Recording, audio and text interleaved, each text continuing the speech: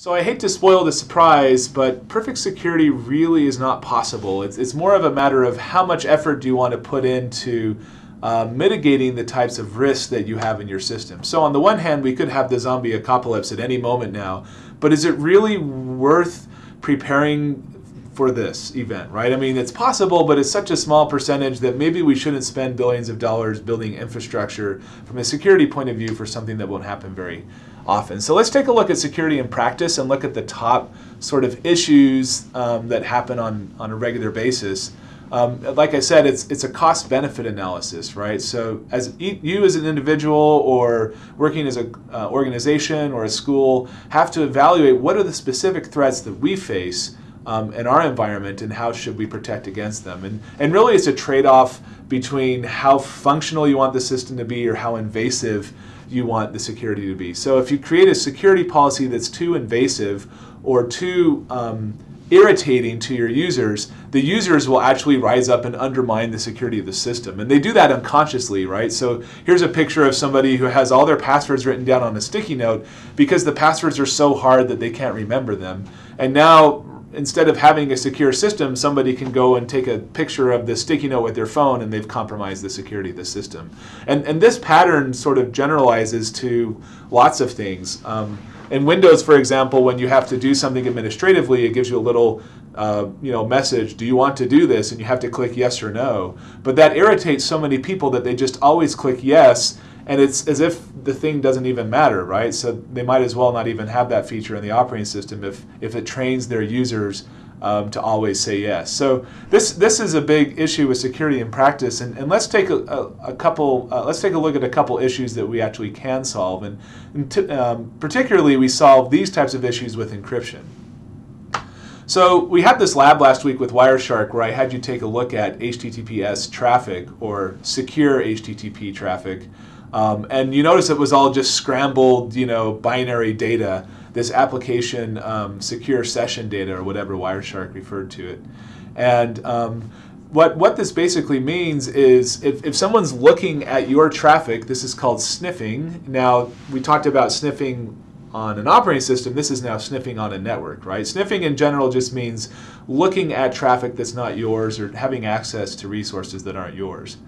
Um, and so, like I said, the, the way to get around sniffing is by in, encrypting your session and, making all of the transmission scrambled, basically. And, and the way we do that is, is with mathematics. So there's simple mathematical formulas. We'll take a look at one in the lab this week uh, for scrambling or encoding a transmission. And this is called a secret key, or particularly if we're using a symmetric encryption environment, we just have to pick one key that will both encrypt and decrypt the data.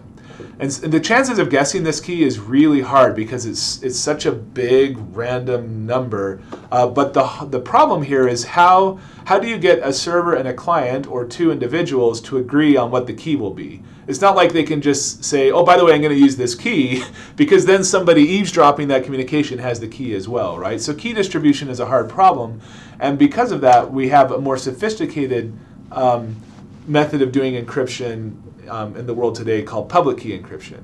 So public key encryption um, helps deal with the fact that it's hard to distribute keys. And instead of just having one secret key, in this scheme we're going to have a pair of keys. And in fact, we're going to make one public. We can just post it on the web or you know, distribute it. Well, talk about key distribution in a minute. But the, the fact of the matter is, it's okay for everyone to know your public key uh, because all that enables them to do is encrypt messages to you. Um, the other key you keep private, and that's the key that you use to decrypt those messages. So the public and the private keys are actually more or less inverses of each other. If I encrypt tr a transmission with my public key, I can decrypt it with my private key, and vice versa. If I encrypt with my private key, I can decrypt with my public key. Now, what's nice is there's all sorts of uh, different techniques that we can use with these key pairs um, not only encrypting messages, but also establishing your identity. Let's look at a scenario where we want to establish identity. Um, this is a technique called spoofing. So typically you're a user on, on the network and you want to um, go through and, and, access some site on the internet, like let's say, um, you know, Amazon.com. And there's actually techniques where a malicious user can come in if they sit between you and the internet um, they're able to trick routers into sending them to you first. So this user can go off to Amazon and become a man in the middle or a woman in the middle, um, however you want to look at it.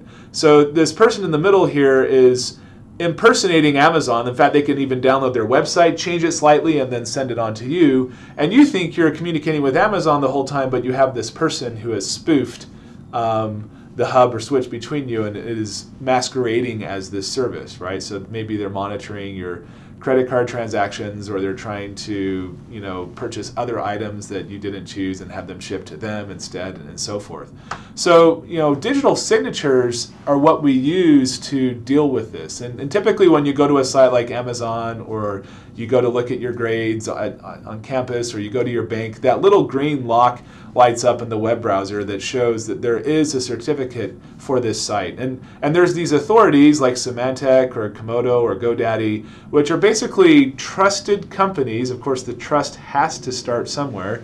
And these people basically go through and verify the identity of other servers. So what happens is um, they take the public key of that site and they encrypt the public key with their private key. Now, you have the public key of all these certificate authorities built into your browser. So you're able to decrypt the public key of, say, Amazon. And then you know, because you're able to decrypt that using a trusted authority, that that public key actually does belong to Amazon. Now, if you're able to establish um, a communication with Amazon and it's working back and forth with this public key that you believe is theirs, then you know that they must have the private key and that's what establishes their identity. So, like I said, we use encryption keys not only for encrypting the traffic, but also knowing that the person or the website on the other end is who they say they are. And, and both of those are important to deal with um, spoofing and sniffing. So, in short, let me just um, take it back to the textbook where it has a short um, discussion about legal issues and, and how can we prosecute people, you know, especially internationally, who commit these types of crimes.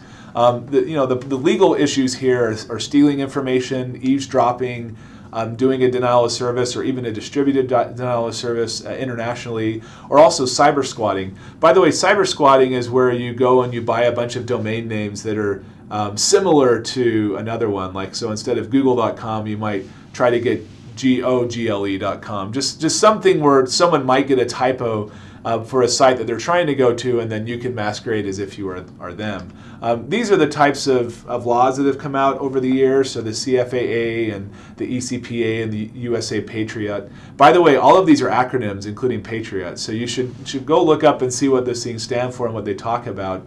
Um, but basically, typically people are prosecuted if they steal, quote, anything of value or if they're doing any sort of monitoring or uh, privacy breaches. And cyber squatting, um, people are usually prosecuted on trademark laws. So you can't go take a domain name that's too similar to a registered trademark uh, because you're violating uh, the law in that sense. But you know, there's a lot of gray issues in all of these, and it's not a perfect system, and, and we're going to continue to deal with these types of problems as a society uh, for the years to come.